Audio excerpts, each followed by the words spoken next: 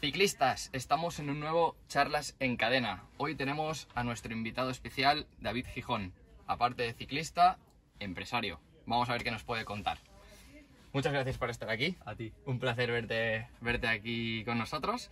Vamos a hacerte unas preguntas estándar, ¿de acuerdo? Que lo hacemos a todos los invitados. Luego vamos a conocerte un poquito a ti, a tu proyecto personal, que también veo que, que lo llevas por aquí. Y a ver qué nos puedes contar. ¿Te parece? Venga, Va.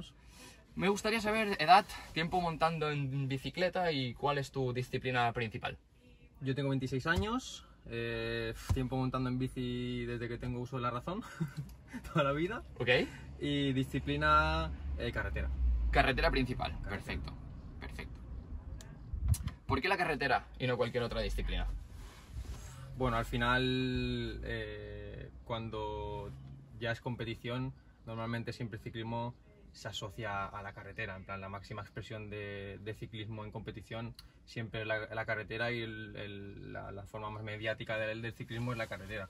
Y al final, pues, eh, pues vas allí pues, por lo que ves en la tele, pues por todo lo que ves. Y al final acabé. Empecé en mountain bike, pero al poco me pasé a la carretera. Lo consumes el ciclismo de carretera, o sea, ¿te gusta verlo? Sí, sí, soy un friki. ¿Te gusta? Sí, Sí. la consumes. O sea que básicamente disciplina reina, ¿no? Por excelencia. ¿Quién fue una influencia para ti, para iniciarte al ciclismo de carretera? ¿Te salió solo o...? Eh, sí, realmente me salió solo porque mi padre era futbolista. ¿Ok? O sea, no tengo ninguna influencia de que mi padre o mi abuelo o tal. No, no tengo ningún antecedente de ciclista en la familia. Y un influente para mí, eh, yo soy de Badalona, empecé allí. Y allí en el club, en el ciclo de la salud, que empecé allí en una tienda, eh, Tony Guirado, ¿Ok? Que era, bueno, fue como mi profe de, de escuela y tal. ¿Y te dio tips o te enseñó un poco el deporte? todo, Y, prácticamente todo. y es quien te hizo... Sí, Quien te hizo entrar en el ciclismo, ¿verdad? sí, básicamente. A nivel... ¿Tú? ¿Referentes? ¿Quién han sido a lo largo de todo este tiempo alguien que dijeras, me quiero fijar, quiero En- ser como... En bici. En bici. Yo me pillo la época de Alberto Contador.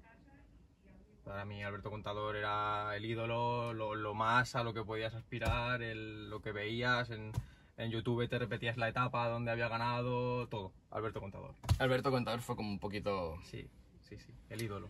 Vamos a entrar ya un poquito más en ti. Ahora Ujú. ya te conocemos un poquito. Explícanos un poquito sobre tu etapa deportiva como profesional. Bueno, de profesional fue muy corta, porque fue cuando decidí dejarlo. ¿Vale? Eh, nada, yo ya era no mayor, pero eh, di el salto nada. Y como yo digo, profesional de mentira, porque al final estás en un equipo muy pequeñito, continental, y la oportunidad que tienes y las carreras que tienes es eh, prácticamente muy pocas, como aquel que dice.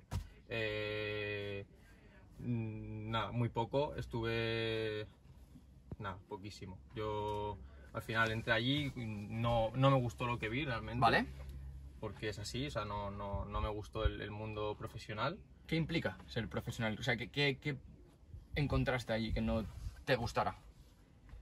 Bueno, al fin- también porque yo venía quemado, tuve también un problema con una bacteria de muela que tuve ¿Vale? y yo creo que fue más una experiencia personal la que me llevó a, a- a decir eh, hasta aquí que no en sí el ciclismo. Al final pues venía de una, de una etapa difícil, eh, había, teni- bueno, había pasado por la... es que se me complicó mucho la bacteria de, de la muela y fue como que no era el momento de llegar a profesional ni Vale. de dedicarme a ello. Ya llegas a una edad que te planteas mucho qué es lo que quieres en tu vida, qué es lo que no quieres y nada, fue llegar y. Porque entiendo que el sacrificio a pagar para entrar al nivel competitivo en el que se está en estos niveles es bastante grande, ¿verdad? Sí, claro, al final tienes que dedicar toda tu vida. El precio a pagar Sí, es, sí, sí, sí, por supuesto. es alto. Sí, todo. O sea, todo al final, tu vida son 24 horas pensando en si me va a hacer bien o si me va a hacer mal para mi rendimiento en, en la bicicleta. Es todo, todo. única y exclusivamente Sí. volcar tu tiempo y, y claro, también en- depende de la edad que empezaras, también tienes que implicar un poco a tu familia, a tu entorno y bueno, Si no tienes el apoyo de tu familia, yo creo que es imposible. Es imposible. Porque además necesitas una ayuda económica detrás que sin tu familia no la puedes tener con esa edad. Aparte, luego lo tocaremos un poquito al final de la entrevista también, pero en esa época que no había redes sociales como estamos hoy en día aquí contigo, entiendo que también visualizarte para llegar a ese profesional de los que entendemos hoy en día es bastante complicado. Sí, no, y... A ver, ahora con las redes sociales sí que es verdad que al final al profesional lo ves como muy cerca, ¿no? Que dices, hostia. Eh, Es más cercano. Sí, lo ves todo más cerca. Que no quiere decir que sea más fácil de conseguir, ¿no? Pero, pero a lo mejor puedes ver el camino a seguir, digamos, ¿no? Si quieres llegar a tal punto, pues ahora ves diferentes caminos. Antes al final, pues te tenías que fiar de la persona que tienes al lado, de Correcto. tu director, de tu entrenador, y, y ya está. Quien te Pero- guiaba era quien te podía haber llevado al estrellato o a estrellarte, ¿no? También como, o sea, Exacto. porque te puede hacer todo el efecto contrario. Sí, sí, sí, claro. Bueno, No. hay muchos jóvenes que... bueno, antes estaba lo típico que es que lo quemaron de pequeño. Ya no rinde porque lo quemaron. ¿Eso es real? No ¿Se puede llegar a, a- a- Físicamente no. Mentalmente sí. Mentalmente a lo mejor te metieron una presión de pequeño, eh, tú te pensabas que a lo mejor era lo que te gustaba o, o tal, y, y fue una imposición más en, en tu casa, en tu familia, eh, de unos padres que a lo mejor querían que su hijo fuera ciclista y su hijo al final, pues a lo mejor no quería ser ciclista. o querías solo simplemente disfrutar en la bicicleta? Exacto. Sin presiones. Y llega un momento en que tú mentalmente mm, no quieres seguir en eso. No porque físicamente al final no creo que, que- que te quemen o que llegues a tu límite con 20 años o con 18. Al final es un tema mental de que no quieres estar haciendo lo que estás haciendo. Y ya está. Porque básicamente el trecho que a ti te separó de, de ese, esa competición, diríamos que fue el tema que comentabas de la muela o algún factor más así Bueno, yo me recuperé más o menos bien y volví a competir, pero... que no era lo mismo. No, y me dio cierta ansiedad, eh, como ya te he dicho, me replanteaba, ya como que quería ver más allá de, vale, ok, ahora si estoy aquí, ¿cuántos años puedo estar? ¿Y qué tengo después de esto? Correcto. Me planto con 30 años, eh, con un sueldo muy bajo en esas categorías, eh, o sin sueldo incluso, y llego a los 30 y ¿qué hago? No tienes nada. Y fue un poco así que, hostia, se me vino como todo eso, el mundo real, ¿no? Al final. Y, y dije, no, digo, no lo quiero esto y, y tienes que afrontar la vida real y ya está. Volver y... No Sí, porque a mí me pasa a nivel personal que, por ejemplo, me gusta ir en bici básicamente, principalmente mountain bike, Ujú. disciplinas más gravities, simplemente para pasarlo bien, para estar pues con los amigos, disfrutando, sin ninguna presión, porque yo a mí mismo no sé gestionar la presión de una competición, Ya. me causan muchísimos nervios y al fin y al cabo no es algo que disfrute. Ujú. En carretera, que es de mis grandes desconocidos, también hay la opción de poder disfrutar de la carretera, hacer carreras sin presión, simplemente por pasarlo bien. Sí, hay marchas cicloturistas. Bueno, si no quieres presión, yo me iría a una marcha cicloturista, aunque muchos se ponen presión ahí. Sí. pero, pero bueno, eh, sí, hay, una marcha, hay marchas cicloturistas que, que tú puedes ir a disfrutar, eh, hay diferentes versiones de recorrido, Ok. largo, corto, mediano, eh, y tú puedes ir allí, pagas tu inscripción y pasas una buena mañana de, de bici. A terminar y ya está. y acabarla, pasarlo bien. Y, Exacto, no hay más. y los fines de semana, hachazos con los amigos. ¿eh? El fin de a la grupeta, a machacarse y ya está. Bueno, vamos a hablar de un proyecto, vamos a decirlo un poquito personal, lo llevas también en camiseta. Sí. Yo te había conocido anteriormente, ahora estamos en una etapa en Girona, hemos venido aquí a verte a tu, a tu nueva ciudad. Ya ves. ¿Qué es Bravelo? Bravelo es eh, la, bueno, lo que yo siempre había querido que me ofrecieran, pues ahora he sido capaz de poderlo ofrecer yo al, al- al resto de personas. Es un taller mecánico en Girona, ¿Ok? Eh, únicamente y exclusivamente taller, no vendemos bicis ni, ni nada. Eh, bueno, no, vende- no vendo porque estoy yo solo. no vendo bicis ni nada y solo me dedico a, a reparar bicicletas y, y darle pues un buen servicio a la gente. Eso está muy bien, porque además, eh, con 26 años, es un proyecto que, bueno, de hecho empezaste un poquito antes. Sí, hace- sí, ahora ya nueve meses más o menos. Sí, hace poquito, Es nueve una meses. apuesta muy valiente, además en, en- en las circunstancias en las que nos encontramos, que los precios de la bici están desorbitados. Yo creo que has apuntado bastante bien al hecho de poder pues dar un servicio diferente, porque la competición en precios hoy en día, lo tocaremos un poquito también al final de la entrevista, está llegando a unos puntos, lo comentábamos antes, un Mm. poquito irrelevantes. Sí, es una locura. También eso te ayudó un poco a decidirte por la... Yo antes de montar por mi cuenta había estado en otra tienda en Girona. Vale. Había estado dos años. Y bueno, al final también viví, vi- también era mecánico, pero bueno, también es una tienda pequeña, al final si tienes que vender, vendes, si tienes que reparar, reparas. Eh, también había vendido, pues había visto qué es lo que conlleva tener bicicletas y marcas en, Correcto. Tu, en tu tienda. y, y, bueno, vi claramente que no lo quería para mí. Ya no porque tengas que hacer una inversión o no tengas que hacerla, que también es un gran riesgo, ¿no? Que también está ahí, correcto. Pero ya no era la, la inversión en sí, sino lo que conlleva tener bicicletas en, en tu tienda. El trato con la marca, el, Correcto. el, el tragar cierta- ciertas cosas que al final te imponen y tenía claro que no estaba dispuesto, no, no lo quiero ahora mismo. eso. ¿Cómo te decidiste? Porque para mí, personalmente, me parece una decisión muy valiente.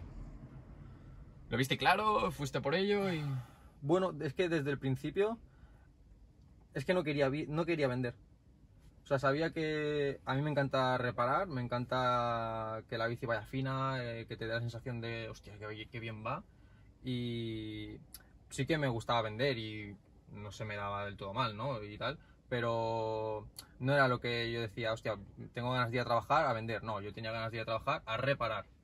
Incluso en mi casa siempre al final, pues ¿Acabas reparando bicicletas o...? Sí, exacto. Y sí que es verdad que el concepto de tienda de bici al final toda la vida ha sido vender y taller. Ahora Es como algo nuevo esto de solo los talleres y tal. Eh, pero creo que es, para mí al menos, el, el mejor tipo de negocio que se puede hacer ahora mismo en, en lo que es ciclismo. Y no, lo tenía claro desde el principio. que no Ya quería- dijiste directamente Sí. por parte. Para mí, la verdad, me parece muy valiente y muy pionero porque la verdad es que desconozco pocas tiendas que tengan ese mismo modelo de negocio. Hmm. Y aparte, tú mismo puedes gestionarte el tiempo, el volumen, al fin y al cabo trabajas hasta donde tú quieras y como tú quieras, al fin y al cabo. Sí, al final tener bicis eh, significa estar atado a, a otras marcas, a otras empresas. Al final Correcto. es una colaboración, no deja de ser una colaboración entre diferentes empresas. Y, y yo tenía claro que yo quería estar tranquilo, hacer lo que se me da mejor, que es reparar. Y ya está, y ofrecerle esa calidad que en una tienda convencional raramente tienes en, en el taller, en el servicio mecánico de las tiendas. ¿Hay presión al ser tu propio jefe?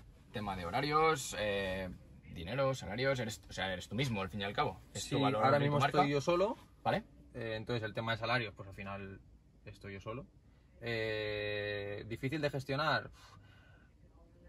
Bueno, todo el tema, al final yo decía, pues, hago una tienda- un taller, eh, reparar y ya está, pero detrás de toda la reparación hay un tema bastante oscuro de ordenador, eh, facturas, proveedores. pues, Ahí eres tú mismo también. eh, allí, bueno, soy yo mismo el día a día y luego mi pareja sí que es verdad que me ayudó mucho al principio ¿Vale?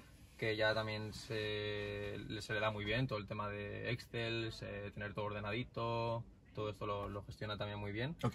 Y normalmente a final de mes ella sí que me echa una mano a... bueno, típico que le pasas todo al gestor, Sí. pues ella me echa una mano con todo eso. Yo vo- voy haciendo colección Ok. entre semana y, y a final de mes nos ponemos los dos y, Y delegas tarea y cierre de mes y... Sí, ella me ayuda. Pero sí, al final lo gestiono todo yo, eh, Vale. los horarios también. Eh, estoy también mañana y tarde. ¿Vale? Y sí, me gestiono yo y, y ya está. Sí. Genial. De momento sí. ¿Te sientes realizado actualmente en el balance vida-trabajo? ¿Tienes ese equilibrio que buscabas en otros lados y no encontraste? Sí, totalmente. Eh, sí que da un poco de cosa porque al final te lanzas a, a algo que no es, no es seguro, no sabes absolutamente nada de cómo vas a ir ni cómo va a ser, pero, pero sí, ahora después de nueve meses te puedo decir que, que sí, al final hago lo que me gusta, lo que me apasiona, tengo tiempo para montar en bici, para seguir entrenando, Ok. Eh, me puse de lunes a viernes, tengo el fin de libre. Eso ya hoy en día no se paga un dinero, ¿eh? No, no, por eso, por eso. que, que tener fin de libre, hostia, que se tiene que valorar, que hay mucha gente que Totalmente. hasta los domingos que está currando, ¿sabes? Y, y tengo tiempo para dedicarle a mi pareja, a mis perros, que al final es con lo que más quiero ahora mismo, y tengo tiempo para todo, sí. La verdad es que me O sea, miramos súper- atrás, si recopilamos, ha valido la pena, ¿verdad? Sí, tanto. Sí, sí. sí. ¿Qué le espera a Brave Velo en el futuro? ¿Tienes algún proyecto en mente? Bueno, sí, a ver, eh, la idea es seguir creciendo poquito a poco, llevamos muy poco, pero el recibimiento que nos han dado Girona, estamos encantados. Y, y la idea es seguir creciendo, no a lo mejor en... eh, ya, es- bueno, ya lo iba a decir, pero bueno, ya lo digo, eh, ahora vamos a hacer más formaciones, vamos a ir por, el, por la formación, gente que le gusta hacer sus cosillas en casa o le gusta simplemente pues tener noción de ideas de bici y tal. Eh, vamos a ir haciendo algunas formaciones, ya estamos haciendo salidas, organizamos algunas salidas con avituallamiento, llevamos una furgoneta con comida, hacemos la ruta guiada. Bueno, al final es eh, crecer en el ámbito mecánico es más complicado porque es complicado meter a alguien a, a hacer el, el- el trabajo que tú haces al final de mecánica. Así es. Es complicado. Cuesta delegar. Sí, en ese, aspecto, en ese aspecto sí. Pero casi que me gusta más crecer en otros ámbitos que a lo mejor no estoy tan cómodo, también porque al final esa adrenalina de, de hacer cosas que a lo mejor no controlas tanto como hacer salidas, eh, hablar delante de gente, formaciones, cosas así, pues eso también mola y, y a mí me gusta siempre estar eh, haciendo cosas diferentes y tal. Y no acabas de, igualmente das un servicio también igualmente al Sí, sí, ciclista. claro. O sea, al fin y al cabo compartes Brave Velo con toda la gente. Sí, sí, o sea, vamos a crecer, pero vamos a seguir con la esencia de Braivelo, de un taller mecánico, y si hacemos algo va a ser enf- en- enfocado a eso, a mecánica y, y a que la gente, pues si quiere aprender con nosotros, va a aprender. Genial. Volvemos un poquito, a, lo hemos tocado, ¿eh? Un poquito por arriba, a las preguntas un poquito así estándar que me gusta haceros a todos los que venís a este plato con ruedas. Vamos a hablar de las famosas redes sociales, evidentemente, pues me gusta decirlo siempre, si no, no estaríamos aquí hoy. Está claro. Entonces, está claro que existen, estamos aquí. ¿Tiene un impacto positivo o negativo en el deporte, el ciclismo? A ver, las redes sociales, como siempre, depende de cómo se utilicen, puede ser positivo o puede ser negativo. Eh, Bueno, depende. Eh, Para mí son positivas, ¿Ok? al menos como yo las utilizo, porque yo al menos intento mostrar toda la realidad. Eh, utilizamos eh, vídeos total, muy naturales, o sea, lo que eh, grabamos es lo que sacamos, Contenido de calidad, transparencia. es lo que lo, lo que hago es lo que se ve y lo que grabamos y no hay ninguna toma falsa ni tiro para atrás en plan hostia esto no ha quedado bien no ha quedado fino no o sea, No es el foco, o sea, es transparencia, mostramos lo que tenemos y Exacto. lo colgamos. Exacto. Eh, ¿Puede ser negativo? Sí, no todo es color de rosa y sí que es verdad que a veces en, Instagram o en las redes sociales ves cosas y dices, hostia, tío, qué guapo este tío o esta tía, no sé qué, o... y a lo mejor la realidad no es lo que está colgando. Entonces, pues bueno, cada uno al final, pues depende de lo que quiera subir o no, puede ser positivo o negativo. Para mí es positivo. Al final todo lo que sea comunicar, que la gente aprenda, que la gente se enganche al deporte porque lo ha visto en Instagram o se ve vídeos de YouTube, eso es positivo. Ser más cercano. Sí. Me gusta, me gusta la respuesta. Bien argumentada. ¿Qué le dirías a alguien que quiere iniciarse en el deporte de la carretera o el ciclismo en general? Social rights o cualquier cosa que estéis haciendo. De- ¿Pero de competición o que se Simplemente iniciar- deporte. A la bici. que se coja la bici que él quiera, que se pueda permitir, Bien, eso es importante. que se pueda permitir y que se busque un grupo sobre todo porque la bici solo sinceramente es aburrida. Estoy de acuerdo. O sea, tienes que ser un totalmente enfermo para salir eh, muy friki, para salir solo. Solo, entrenar tú solo, Sí. sufrir solo. Sí. Pero la bici compartida, la, la bici que sabes con tu grupo, que te pasas a almorzar, que te picas, que ahora te gana este, que ahora le ganas tú, Vatios. vatios, eh, me bajo, bajo por aquí, me caigo. eh, todo esto al final, la, compartido mola mucho más. O sea, mi consejo es cómprate una bici que te puedas permitir Y disfrútalo con gente. y disfrútalo con gente. Desde luego. Total. Vamos al gran tema, ¿no? Precios de las bicis, el mercado actualmente. ¿Cómo lo ves? ¿Subirá? ¿Bajará? Se nos está yendo las manos. Bueno, se nos ha ido las manos hace ya tiempo. ¿eh? sí, ¿verdad? Pero bueno, eh, no sé, muy complicado de saber. Parece que tienen que bajar, pero yo tampoco he visto gran bajada. No. Sí que es verdad que eh, las tiendas a lo mejor tienden a hacer un poquito más de descuento este último año a lo mejor. Pero si te metes en internet o te metes en las páginas web oficiales de, de cada marca y tal, tampoco he visto una bajada de, de precios. No lo sé, no sé. A ver, para mí también es una de las razones por la que no he querido estar con ninguna. Bueno, Lo no que comentabas de no tener ventas de bicis. Es porque, por eso también, porque los precios que, que tenemos es algo desorbitado. O sea, eh, antes sí que te podías comprar una bicicleta, una persona con un sueldo medio, te compras una bicicleta sin financiarla. Hoy en día es impensable. Hoy en día, para un sueldo, una persona que tenga un sueldo medio, su casa y tal, que pague su renta y sus cosas, es inviable. O sea, es financiado todo. Sí que es verdad que cada vez hay más, más facilidades para financiar, pero es financiado. Y esto antes es que prácticamente las tiendas no tenían opción de financiar. No, no, menos yo en mountain bike, la gama media que me podría más o menos permitir, aún y trabajar en el sector, a mi nivel personal se me está yendo bastante de las manos. Sí, sí, sí, total. Es un momento de decir, incluso estar bastante metido en el sector, no te puedes permitir si no tienes pues un sponsorship o alguien que te ayude o eres un ambasador o algo así. Sí, sí, sí. Se te va mucho de las manos. Con un sueldo medio es muy complicado pagarte una bici como antes. Y ya no te digo si te quieres ir a una gama alta, a lo mejor con un XX1, con Kashima o en carretera un Durace. O sea, se te explota la cabeza. ¿Eso lo ves también en tienda, en? ¿Nivel reparación? A ver, sí que es verdad que, al menos en Girona, eh, la gama que me entra, o al menos a mí, pero claro, yo no soy muy objetivo porque el cliente que va a buscar una reparación como la que yo ofrezco, un sitio como el que yo ofrezco de únicamente reparar, es un cliente que, que cuida su bici, Cuida que su le bici. da el valor que tiene a su bicicleta. Recomendamos desde aquí mantenimiento a las bicis, ¿eh? Tenerlo todo al día, sobre todo. Sí, porque al final luego sale más caro todo. Desde luego. Eh, entonces, el, el target o la bicicleta que me entra a mí normalmente es una bicicleta alta.